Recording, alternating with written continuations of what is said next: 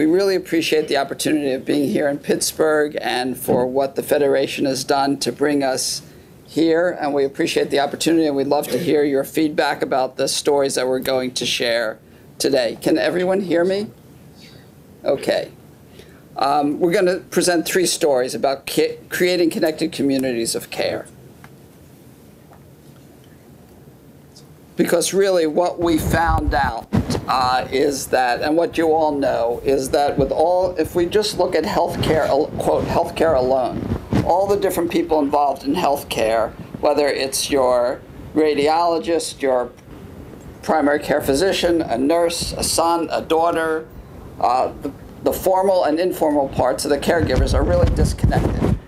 In the past two years, there was an article in New England Journal of Medicine which looked at all the all the information flows that tried to occur, the context that tried to occur, and they actually had a a, a dynamic graph of constantly these calls and interrupted calls and disconnected calls that and things that didn't happen and return calls, and we're trying to smooth all that to happen to create to go from a disconnected and inefficient uh, community of care to a connected community of care, and we'll try to describe what we're doing uh, with that, and I'll just have Neeraj give a brief summary of just who we are and what we're doing. Thanks, Mike, and thanks everyone again for, for having us here today.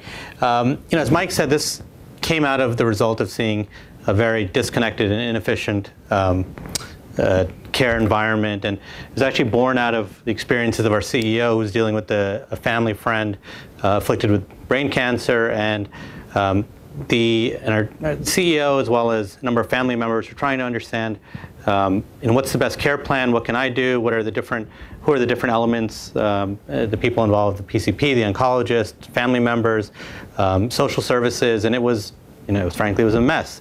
And you know, as we move to value-based care models, you can just imagine the, the problem on the other side where you know, you're going to have 80% of reimbursements uh, tied to some level of patient engagement or, or um, outcomes by, uh, by 2020, according to CMS. So how do you make that work in, um, you know, you, you can't make it work with the current model, which really thinks that faxes and spreadsheets and post-it notes are, are 21st century technology. And our estimates are that um, it can cost upwards of $5,000 per patient per year to have a care management program um, you know, with the current model. Um, the economists estimated $30 billion a year is wasted uh, from uncoordinated care. So that was the that was the genesis of Care Navigator. Blueprint was formed uh, in 2003 as a healthcare technology consulting firm. Um, and this product was sort of a, a, vision in the in the eye of the CEO. Um, in 2012, we launched at late 2014. Uh, we have now about 150,000 contracted lives. Our our you know our core uh, customers are really uh, health systems, accountable care organizations. Uh, we've had conversations with payers uh, as well, and Mike's going to go through some of the um, some of the use cases to give you a little bit of a flavor around you know, how organizations are using Care Navigator in different settings. So we're going to describe three stories today. One, a patient-centered medical home, Children's Specialized Hospital in New Jersey that deals with complex patients and a, have a particular program with uh, autism patients. Two, uh, the one of the leading statewide ACOs, which is uh, One Care Vermont, which we just started implementing in the past uh, month and a half. And third, some experiences we have. Uh, we're going to start implementation shortly in a New York State district program uh, focused on the medical home, which they feel is the critical component of what they need to do to build an integrated delivery system. And we're going to give you a flavor of what those were.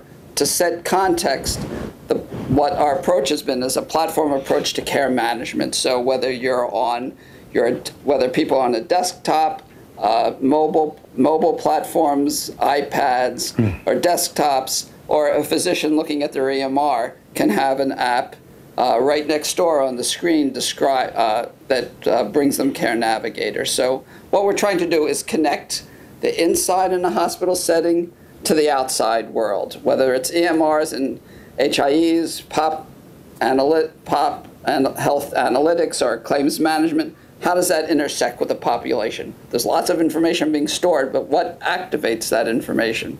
And Care Navigator is the connector uh, to connect to physicians, patients, family caregivers, and different uh, modes of and channels, which we'll give you an example of. And basically, it's built just to get an idea. How does this work?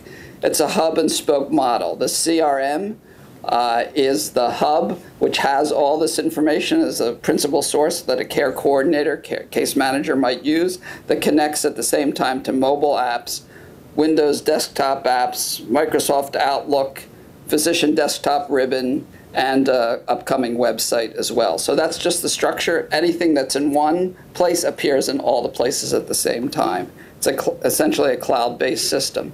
There are all kinds of the three major engagement channels are the mobile app, Care Navigator Hub, and the desktop ribbon. And we're going to give you an example of what that is.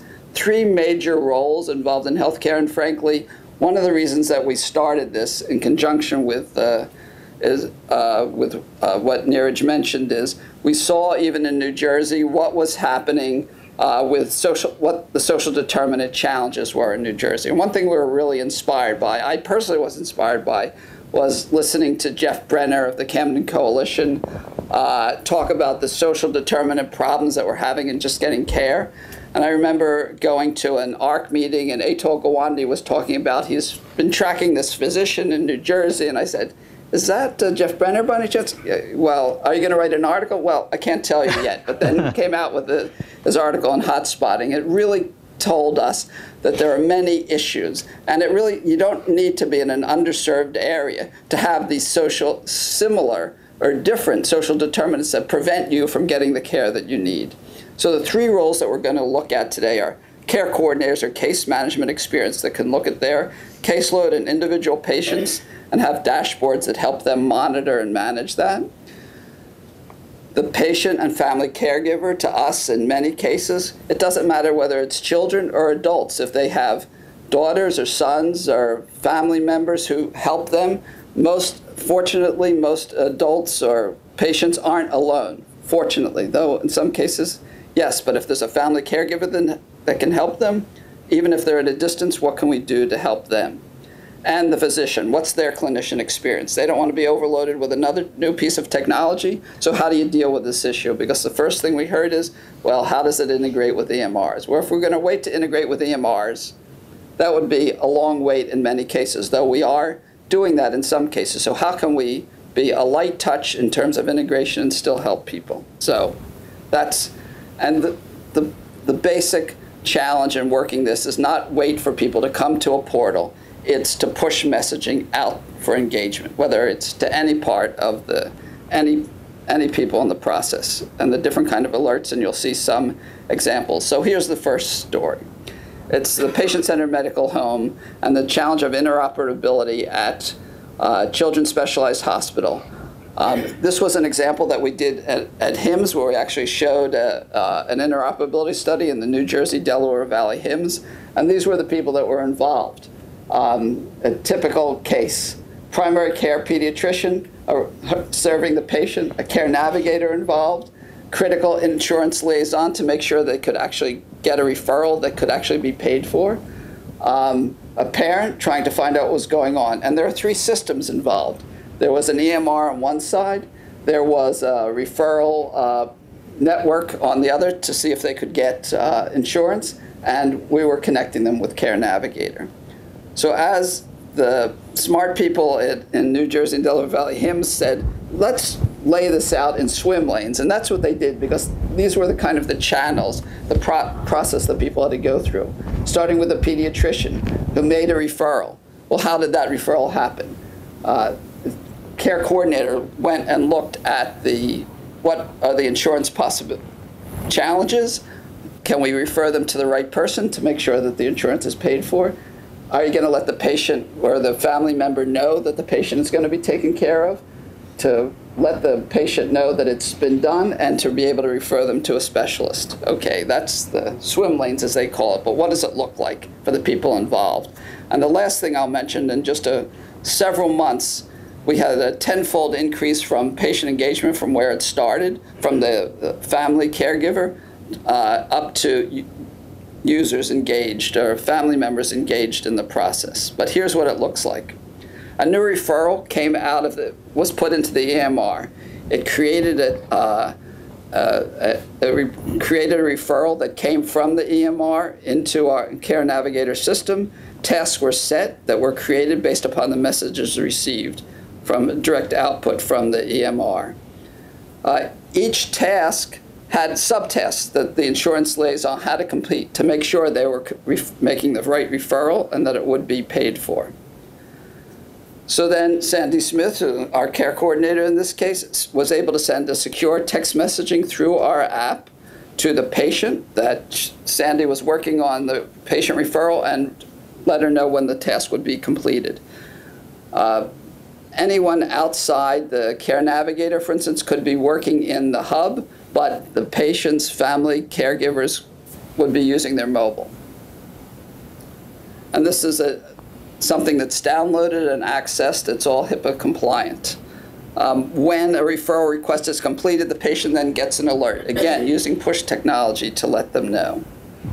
And if their, if their app isn't on, they'll still get an alert to say there is information coming that you should take a look at. Then the caregiver or patient can view the appointment in their calendar under the care plan too. So there's a calendar built into the system where they can check and see what aspects of the care plan were involved.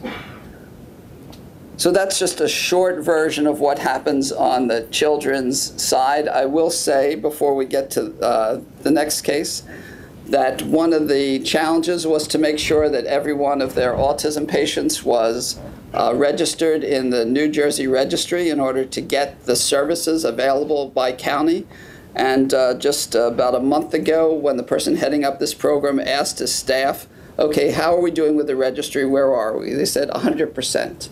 And he, could, he just didn't believe it at first because it was 200 patients who are registered in the registry, which usually take them a long time to try to get to any kind of high percentage not 100%. That was a surprise, and that's a result of the work that was done through Care Navigator. Neeraj has your own story to tell. Absolutely. Uh, well, thanks. So the story number two is about uh, Joe Healy, who is a very unhappy-looking patient, but he's a you know, generally healthy patient in the story who's a who's had total knee replacement, and uh, it's a, about a post-hospital discharge uh, experience. And how did it the care coordination team in his uh, in this example uh, create a more efficient and effective uh, recovery environment for, for Joe. So Joe's been assigned to a care navigator, in this case Neil Orant in the upper right-hand uh, screen, who looks at Joe's information. There's basic demographic information, which will come into play uh, in a little bit. And this, that information is entered upon uh, Joe's entry into this into the program. Um, now, you know, the system knows that Joe is uh, is a, a, knee transplant patient, uh, knee replacement patient, who's uh, so it can automatically generate uh, the post-surgical and rehab care plan, which will include you know, his clinical as well as non-clinical goals, um, his uh, medications, rehab plans, And to Mike's point about, you know, we really believe that uh, that you need to create uh, notifications and actionable um, alerts for, for patients to get engaged. And you know, as Eric mentioned earlier, that uh, patient portals are single-digit percentage um, uh, propositions uh, in, in the best case. So Joe gets an alert that there's an assessment here uh, in his Care Navigator mobile app. Now, it's also one thing to point out is that this assessment is going to be for Joe, and we'll show there, there are functional assessments. There are uh, there can be um, medical assessments as well, uh, but assessments can also be. You know, Joe's a, a, healthy patient here who has access to a smartphone, but the assessments can also be sent, um, you know, to a caregiver for Joe, um, uh, who who may live with Joe, for instance, to help him through it. Um, the the uh, the care navigator you know, this, this is an assessment about uh, his, uh, his functional abilities. Is he able to take care of himself, essentially? And based on those assessment answers, uh, the organization, in this case, Mercy Healthcare, can create, um, they can create a score, they can create automated workflows, uh, task sets uh, around those questions. So if Joe is um, uh, you know, a low literacy or Spanish speaking or whatever it is, they can send it, they can uh, establish uh, rules engines in advance to send him information that's, that's uh, specific to Joe. One of the things that can automatically be established is that because Joe is a, is a knee surgery patient, uh, they know that he's not going to be able to drive for six weeks. So they can, one of the task sets for Neil every day uh, as he looks at his patient panel is to say, well, I need to set up uh, transportation for Joe. There needs to be a member of uh, uh, there needs to be a transportation member on Joe's care team who doesn't need access to you know, all of Joe's uh, uh, medical uh, care plans, but he needs access. To, he needs to know that Joe has an appointment at the rehab center on Friday at three o'clock, and so I need to pick him up at two thirty. I mean, this was one of the critical areas, just getting to the person who knows he should go to the physician, but he can't get there or she can't get there. What are you going to do? So if a person says, if a person says, well, they can't get there, or what's their appointment, or what's a problem, we'll ask a question as part of that list to try to ascertain what the problem is and launch a workflow as a result of that. So Tony Transport, you can't really see it here, but Tony Transport has been assigned as, as the, um, you know, as the transportation service provider here. So anybody can be a part of Joe's care team. It can, and everybody has different permissions. They can be depermissioned if Joe has a fight with, uh, with his daughter and doesn't want her on the, on the care team anymore, and he can depermission her, or he can, he can set, uh, set limitations on our access. Uh, the care coordinator gets you know, social media like alerts. This is all internal to the to the organization and to um, you know, to, to Joe's care team that uh, certain tasks have been completed, or if they haven't been completed, they can uh, send reminders. Now, Dr. Andrews here, um, if you know, if she desires, again, this is, you know, not every physician wants this, not every physician wants uh, access, wants patients to be able to communicate with them at all times. So this can also be customized, but I see a lot of nodding heads in the audience. But uh, Dr. Andrews can can exchange text messages with Joe uh, that are all, this is, this is all HIPAA compliant, 256-bit encrypted uh, communications that are stored uh, for reference. Uh, you know, if the, if the swelling was not better, uh, for instance, she could ask Joe to take a picture of that, uh, you know, of his knee, send it over to her, uh, and say, well, no, you this is fine, or Joe, actually, you need to come in here, uh, you know, pretty quickly. The, there's secure video chat in, in Care Navigator as well. And you know, to Mike's point earlier, each um, each caregiver will have a different uh, level of experience that's really customized to that caregiver. So, you know, the care coordinator is doing most of the heavy lifting here. The, you know, the first responders, as we mentioned earlier, uh, and their primary interface is going to be on the hub. Um, but they can also access the mobile, uh, mobile and web applications. The physician, uh, you know, this is something that was developed uh, that, that, we developed in conjunction with physicians. This is a desktop ribbon, which, uh, is, as we said earlier, sits on the side of the EMR. It's a, it's a very light uh, application that sits on, on a physician's uh, on a physician's laptop in the sys tray, uh, sort of pops in and up, you know, where they they want to have their view of the EMR at all times, but is, you know if they want to understand where does Joe's care plan fit or who are my who are my patients, um, they can bring up Care Navigator, uh, the desktop ribbon. And here we go to story number three. Okay. So our third story is one which we think in some ways is the broadest uh, meaning in terms of especially what people are here tonight. Uh, accountable care about accountable care organizations and it certainly has implications for accountable community organizations as well. Um, One Care Vermont, which we just started implementing uh, about a month and a half ago, uh, is the largest statewide a- ACO, one of the largest statewide ACOs. And they actually handle Medicare, Vermont Medicaid, and commercial exchange shared savings programs. The network of providers, uh, while it's part of the University of Vermont Health Network, are not all health network pr- providers that are paid by the University of Vermont. It includes most of Vermont's hospitals, two New Hampshire hospitals, hundreds of primary and specialty care physicians, FQHCs, and several rural healthcare clinics. Their care coordinators, which is our main engine of who's driving this uh, software um, are actually uh, are actually employees of different providers. So it's not all managed by the accountable care organization, but they try to set the framework for managing them. And really, they wanted to try to put this on a better framework. They have a wonderful toolkit which they have posted online, which provides guidance for how, which could be informative for everyone, and provides guidance of their learnings, of what. Uh, what they've done and how to manage care, but they're trying to get a better view into what's happening and better coordinated because there's a huge movement in Vermont. Not only for they moved off of the one payer system, they're now trying to look at an all payer system that they're working on. But frankly, we went to the blueprint for health, not our blueprint, their blueprint for health. Uh, last week, and there's certainly a lot of discussion with the social service agencies about how to coordinate all the care. And they're hiring uh, community health workers too. So how to coordinate all these different pieces, and well, that and that is certainly in the vision of One Care Vermont to try to expand uh, the uh, the kind of delivery that they can make. That's the toolkit that I mentioned, which is very informative. And somebody asked me earlier, what's a care coordinator? Well, they actually try to define a care coordinator versus a case manager versus, you know, but it gives some basis for doing that. So really, this is one of the cores of what we're offering because it goes to an enterprise but allows it to go way beyond the enterprise itself. The enterprise is the or originator of the, of the uh, program with us.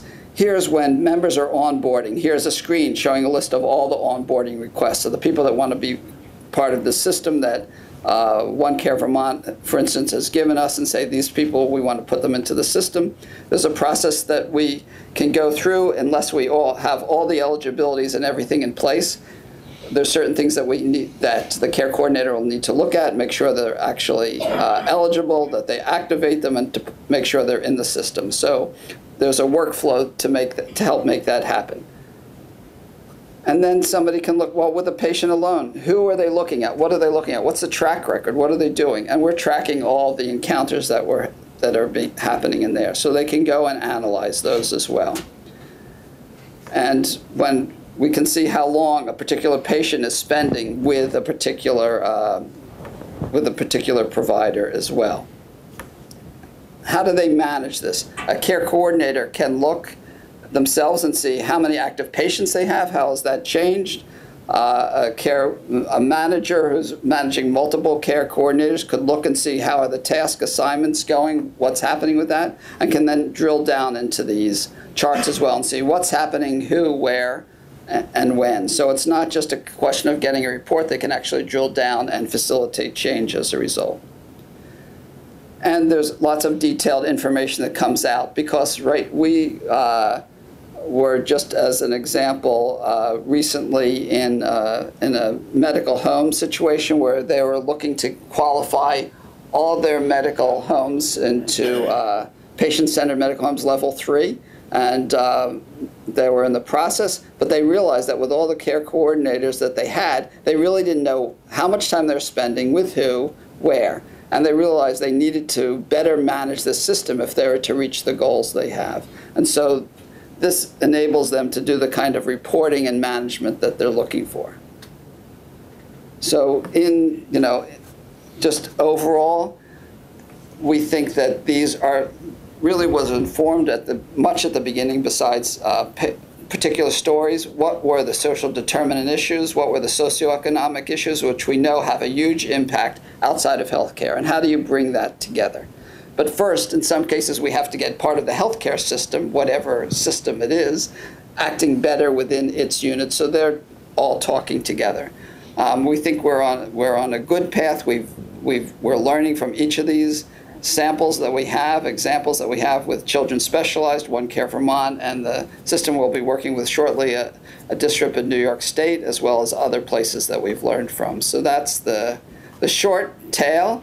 Um, we've actually put together a booklet that describes, uh, that could be a workbook for you that can describe connecting different communities of care, the different kind, which we'll be glad to share with you. It's not a commercial product, it's an informative product and help you work through some of the issues that you might think. And we, uh, we're actually uh, you can find our website besides at Blueprint HIT, mycarenav.com, which will be launching as a separate site too, mycarenav.com. But if you have any questions, of course, we'd love to take them now, and I hope I haven't spoken too long at this point.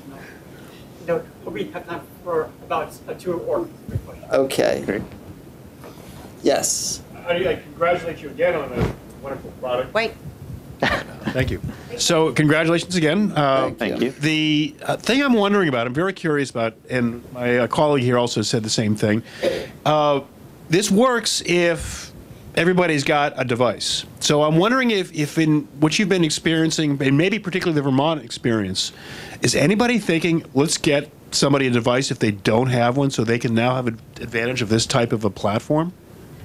You know, there, I know, I'll just use, I'm not going to use our experience yet, but I'll use the experience in other, in other cases. And I know this is something that concerns them, but I know, for instance, in New Jersey, sometimes I think they've given out Medicaid phones, but then those phones don't necessarily always continue the process. So there are definitely issues. This is not, I think people underestimate what the role mobile mobile's taken in almost any everyone. Sometimes it's their only method of communication. It may be their only computer, and uh, so you people can underestimate what's there. But Jeff, definitely there are challenges, and I think that uh, I expect that places will be looking for replacements. So even that is not, you know, the ultimate answer. So I don't mean it's a challenge, and there, you know, that we'd love to overcome. And it uh, the, also is that there are the possibility of people making phone calls, so there may be a family member, if there's another Right, that- member, a care coordinator to reach out to. Because this is not just dependent upon the patient doing it themselves. This Right, I was gonna help men- the patient. Sorry, I was going to mention Children's Specialized Hospital, where the patients are children with you know, very severe uh, medically complex needs. They are not the ones primarily who are acting, who are interacting with Care Navigator. It's their parents, it's aunts, uncles, school nurses, you know, other members of their care teams. Hey guys, um, another Vermont related question. Um, Vermont is among the most advanced with respect to health information exchange statewide. Um, wondering the extent to which the ACO is playing in that space and the extent to which you guys um, have at least thought about enabling this functionality through that exchange. So, like any, like almost any HIE, it's still a work in progress with tremendous challenges. Um, there certainly uh, where One Care Vermont is very involved with getting information from the from from VITL, um, but it's not you know it's not the answer. It's not the answer alone. It's a critical part of it. So this seemed to be the best marriage. They've been through the uh, process uh, previously, trying to get this information. At this point, we're working to get certain information will come from the HIE, and certain information will come from their uh, an analytics company that uh, University of Vermont and uh, and One Care Vermont have hired to help stratify that information and provide that. But there's real, unfortunately, there's no one solution that's going to cover all these areas. But we'll be engaged with them as we can, and certainly One Care Vermont will do as much as they can to take advantage of that. I have Yes. question. Um, How successful have you been?